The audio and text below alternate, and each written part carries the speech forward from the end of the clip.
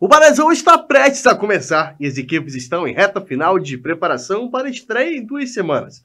Mas você sabia que dentre as nove equipes confirmadas para o Campeonato Amazonense, existe uma equipe que não possui nenhum jogador amazonense em seu elenco? Confira com a gente um pouco mais sobre isso.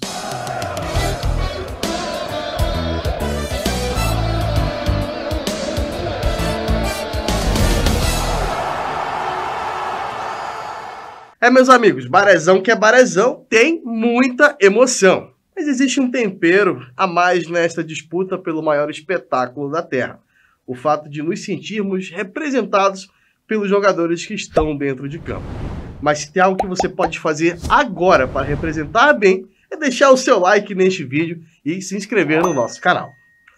Então, galera, o Manauara é um dos times que mais se adiantou na formação do elenco. Em contrapartida, o Robozão não possui nenhum atleta amazonense na equipe até agora. Segundo o próprio treinador, o motivo para isso é que o Estado não produz atletas bons o suficiente para trabalhar e também não investe nas categorias de base. Abre aspas para o treinador Christian. Aqui precisam formar mais e as equipes do Estado precisam trabalhar melhor suas categorias de base para revelar mais jogadores. A culpa não é do Manauara por estar colocando jogadores de fora. O clube é apenas um investidor, mas sim um lugar está provendo a necessidade de jogadores que necessitam. Fecha aspas. O Brasil deste ano será apenas a segunda edição em que o Manauara participa na elite do futebol amazonense. Dessa vez, chega como um dos postulantes ao título e também conquistar o calendário nacional no próximo ano. A estreia do Manauara será no dia 29 contra o Amazonas, em local a ser definido. E aí, o que, que você acha sobre tudo isso? Qual é a sua opinião? Deixa aí nos comentários que a gente está de olho.